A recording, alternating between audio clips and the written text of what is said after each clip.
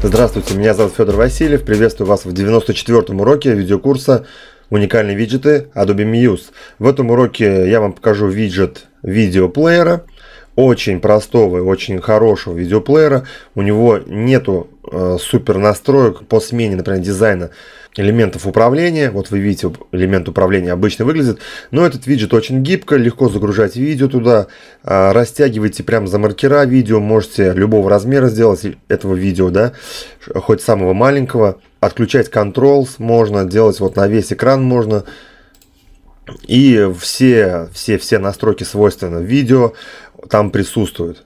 А давайте перейдем в Adobe Muse и посмотрим настройки данного виджета. Заходим в настройки и что мы здесь видим. А, первое поле добавить файлы MPEG-4, следующее добавить файл OGG, следующее добавить файл WebM и видеопостер. Я поясню. Обязательный критерий добавить MPEG-4 файл и видеопостер. Постер это просто любой скриншот, картинка, то есть JPEG изображение для вашего видео.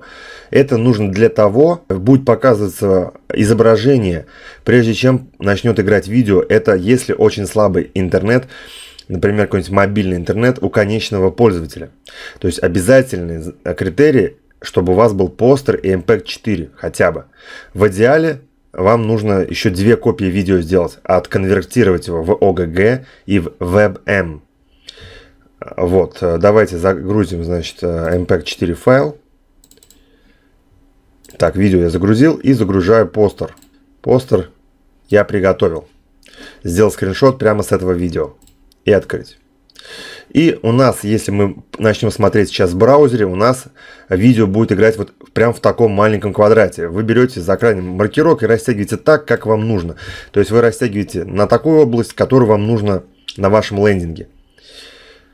Вот, растянули и давайте посмотрим. Control с панель, смотрите, у нас внизу есть такая панель Control, да? Вот если галочку снимем, по идее, а, мы должны отключить панель управления. Давайте это сделаем. Галочку снимаем Video Controls и проверим. Внизу под видео будет ли панель управления. Видео играет, я навожу мышь, и вы видите, я не могу никак воздействовать. Не остановить видео не могу.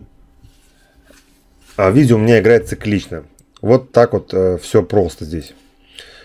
А дальше видео автоплей. Если мы снимем галочку, автоматически видео воспроизводиться не будет. Соответственно, если вы галочку снимете, обязательно ставьте галочку видео controls, а иначе это видео никто никак запустить не сможет. Видео мутат, э, если галочка стоит, это отключение звука. И видео луп это цикличное видео, то есть повторять видео, как только оно закончится. Вот они все, в принципе, настроечки. Мало, но зато виджет очень классный, качественный, простой, понятный и очень полезный.